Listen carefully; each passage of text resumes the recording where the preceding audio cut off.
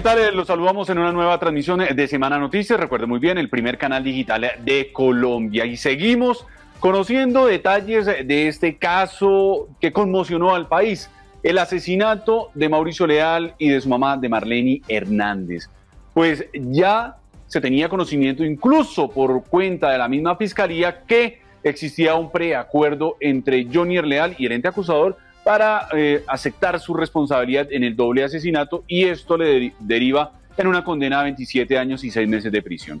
Pero lo último que se ha conocido o que ha conocido el país es un documento donde el abogado, el nuevo abogado de Johnny Leal, pues le hace una solicitud en particular. ¿Cuál es esa solicitud?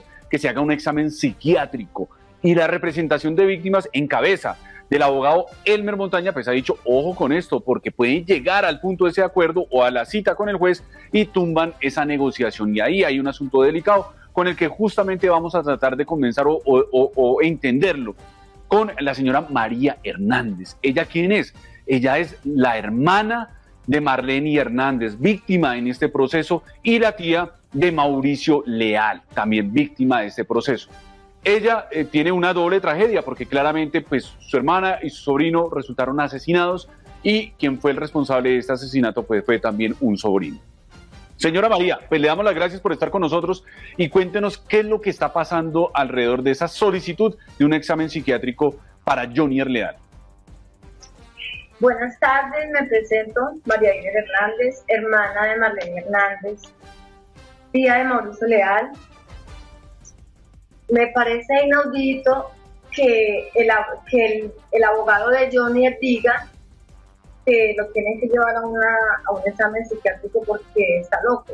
A mí no me parece que él hubiera estado loco cuando cometió el crimen, porque de todas maneras, él, un loco no va a, matar a una persona, a acomodarlo, a arroparlo, a hacer escribir una carta, eh, hacer ponerse guantes, o sea, trapear, hacer todo lo que hizo. Un loco no lo hace. Y Johnny en ese momento no estaba loco, él tenía sus cinco sentidos. Él los tenía, porque un loco hace las cosas y sale y se va y no sabe lo que hace, deja las cosas como es y, ya. Pero Johnny en ese momento no estaba loco, él tenía todos sus cinco sentidos. Que ahorita, que ahorita ya la conciencia lo tenga así y lo esté volviendo loco es otra cosa pero mientras en el momento que pasó, el, que hizo el crimen, él tenía todos sus cinco sentidos. Porque Johnny, yo le digo una cosa, Johnny, Rodolfo, si usted lo hizo, téngale miedo a la, a la, a la justicia divina, no a la justicia terrenal, porque la justicia terrenal vos pagás en una cárcel, pero la justicia divina es lo más, mejor dicho, lo más, lo máximo. Entonces, Johnny Rodolfo, te digo eso, porque Tú no estabas ningún loco cuando cometiste ese crimen tan grande. Entonces, tú te estás volviendo loco ahorita porque la conciencia te está carcomiendo. Por eso. Y dañas claro, toda la familia. Sí, señora Marlene. Exacto, digamos, este es el mensaje que usted incluso está aprovechando a través de semana eh, de enviarle a Jonier. La situación es, él está pidiendo ese examen. ¿Ustedes qué, qué mensaje le pueden mandar a la fiscalía ahora que eh, la defensa de Jonier está pidiéndole al ente acusador hacer un examen psiquiátrico. ¿Qué podemos decirle a la justicia en general? No, que no es correcto porque es que Johnny no está loco. Él no estaba loco en el momento que cometió el crimen. Él no estaba loco. Él estaba muy bien de sus cinco sentidos. Entonces, por eso le digo, no estaba loco, que se esté haciendo loco, que se que, que ahorita se esté volviendo loco porque la conciencia no lo esté dejando es otra cosa. Claro, por supuesto. El, el, el, asunto, usted, digamos, a través de su defensa, el doctor Elmer Montaña, le han manifestado a la justicia que no pueden permitir eso. Usted, digamos, también le dice eso a la justicia, pero además recuerda o le recuerda a la, a la misma fiscalía que Johnny no estaba enfermo mental ni loco como que de, alguna manera se pretende establecer en el momento de cometer este doble asesinato. No, él no estaba loco, él estaba con sus cinco sentidos, porque como le digo, doctor, un loco no va a poner ni va a maquillar la escena. Y él la maquilló muy bien. Y un loco no hace eso, un loco hace las cosas y sale como Pedro por su casa y se va. y él no le importa nada porque como está loco, entonces él no, no siente nada ni hace nada. Él sale y las cosas las deja, son dicho, él hace lo que hizo y chao. Pero Johnny no estaba loco en ese momento. Que se esté enloqueciendo, como te digo, si se, que se esté enloqueciendo porque la conciencia lo esté carcomiendo ahora, pero que en el momento que él cometió el crimen él no estaba loco. claro, ¿cree usted, señora eh, Marlene, que él, él, siente un grado de arrepentimiento y eso es lo que lo está llevando entonces a ahora solicitar un examen psiquiátrico? Eh, ojalá, yo le pido a Dios que, que le pida arrepentimiento y que pida perdón a Dios, porque Él es el que está volviendo loco, como le digo, porque la conciencia lo está carcomiendo, porque Él sí lo hizo, porque si Él no lo hubiera hecho, entonces porque Él se va a culpabilizar uno a decir yo soy culpable sin hacer lo que yo he hecho, nunca, jamás. Entonces si Él se culpabiliza es porque Él tiene su culpa encima. Y si se está volviendo loco ahora, y si el, si el abogado de piensa que lo está viendo loco, entonces se está enloqueciendo ahora después de que cometió el crimen, porque antes él lo hizo, lo hizo con todos sus cinco sentidos. Es, es, es, eso es importante, señora Marlene. Usted ha, ha, utilizado acá, digamos, los micrófonos, todo, esta transmisión de semana para enviarle un mensaje a Jonier. Y seguramente él va a tener la posibilidad de, de verlo. Repítale ese mensaje que usted hace un momento eh, le estaba manifestando. Bueno, este mensaje va para Jonier eh, como tía, te digo, te digo algo, Johnny Rodolfo. Si tú lo hiciste, por favor, por favor, háblenos con la verdad.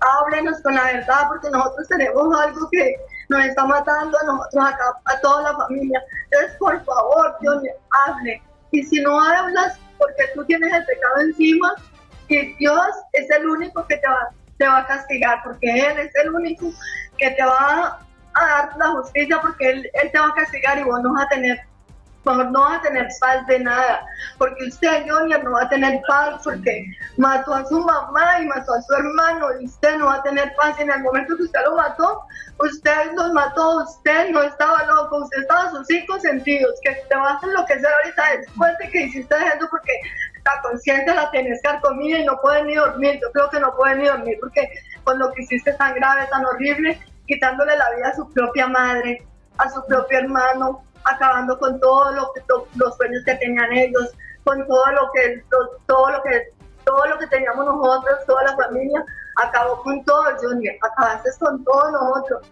Entonces yo pido y le pídale perdón a Dios, Junior, pídale perdón a Dios porque es el único que te va a perdonar, porque tú vas a pagar en la tierra y vas a pagar, pero al, primero que le tienes que pedir perdón es a Dios, porque si ustedes están enloqueciendo ahorita es porque la conciencia no te deja, Junior, y te lo digo como tía. Y si usted no lo hizo, hable, hable, no eche culpabilidades encima que usted no tiene que ver, entonces hable por favor, Junior, no los deje como los tiene, por favor, le pido, hable, hable, por favor diga la verdad, esclarezca toda la verdad, porque si no, usted es culpable de todo y usted es el que va a pagar a Dios, usted todo lo que hizo, todo lo que hizo lo va a pagar Dios, y esto no solamente en la tierra, sino que también la justicia divina de Dios, él también se va a encargar de hacerte pagar todos los daños que te hiciste a tu mamá y a tu hermano y el daño que nos hizo a todos nosotros, como tanto a tu familia, a mi familia, a todos nos hiciste daño. Claro, señora Marlene, y acompañamos, por supuesto, su dolor en esta, en esta situación porque entendemos que tiene usted una tragedia doble, porque primero perdió a su hermana, perdió a su sobrino y ahora también eh, de paso pierde otro sobrino porque resulta ser él el responsable de este asesinato. ¿Ustedes se sienten reparados? ¿Sienten que, que, lo que ha pasado hasta el momento realmente repara su dolor, el dolor que ustedes han eh, padecido durante todas estas semanas? no, no, no, no lo ha reparado porque ni siquiera le ve nada.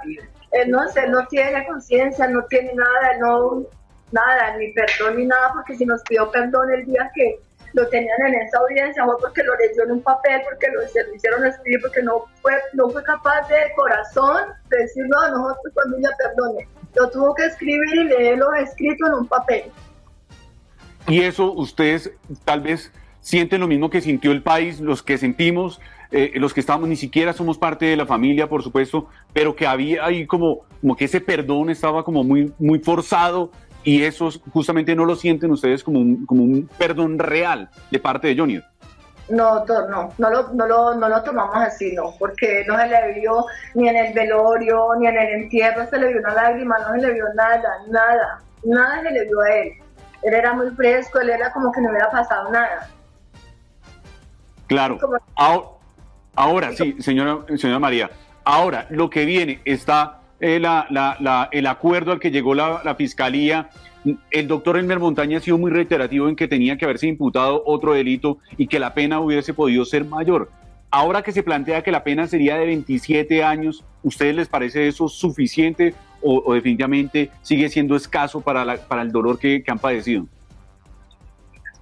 Eso ya le toca la, investigación de ellos, porque pues de todas maneras ellos son, ellos son los, la fiscalía, son los que tienen que, tienen que ver todo lo que, lo que hizo, porque es que yo tampoco estoy de acuerdo con, con el, abogado de Matt Johnny que está diciendo, o sea, o sea que no va a seguir, no va a salir pagando nada, o sea, como que hubiera matado dos animales, que no importa nada, no, no pague nada, ya, ya le está, no solamente, sino que le está metiendo también que él estaba, que no estaba bien en el día que cometió el crimen, porque eso es lo que quiere decir el abogado, que él está loco.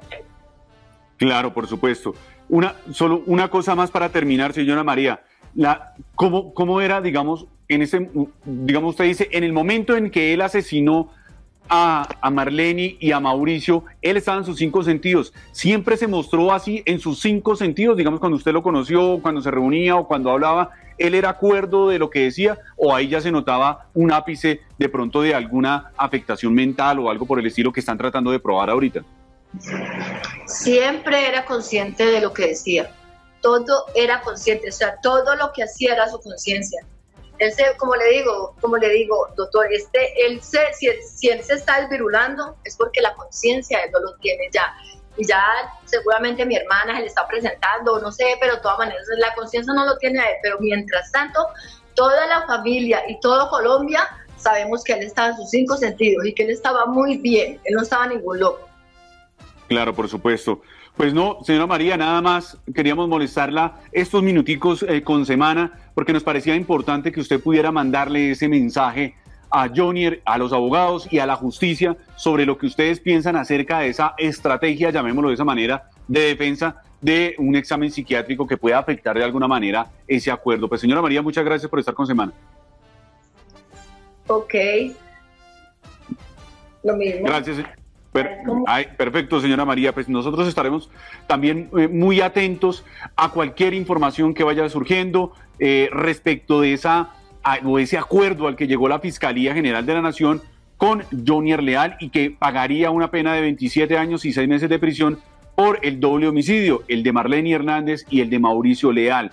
Pero hay que tener en cuenta que esa pena también tiene algunos descuentos punitivos, es decir, descuentos que podrían eh, hacer más o reducir el monto de esa condena. Estamos hablando de que por trabajo o por estudio en la cárcel tendría algunos descuentos adicionales en ese monto de la pena. Y ya los expertos penalistas han dicho en semana que físicos estaría, físicos estaría al menos 16 años en la cárcel Johnny Leal. Pues por supuesto nosotros estaremos atentos de lo que vaya ocurriendo, de lo que vaya surgiendo alrededor de este caso del asesinato de Mauricio Leal y de Marlene Hernández. Ya escucharon usted a las víctimas de este proceso, a la señora María Hernández, que es hermana de Marlene Hernández, pidiéndole, rogándole incluso en medio de llanto a Jonier de que cuente, de que hable, que no siga escondiendo la verdad respecto de este terrible caso que conmocionó al país. Nosotros, pues nos vamos despidiendo, le agradecemos por supuesto a la señora María Hernández que estuvo con nosotros aquí y a quienes se conectaron a esta transmisión de Semana Noticias. Recuerde muy bien, el primer canal digital de Colombia.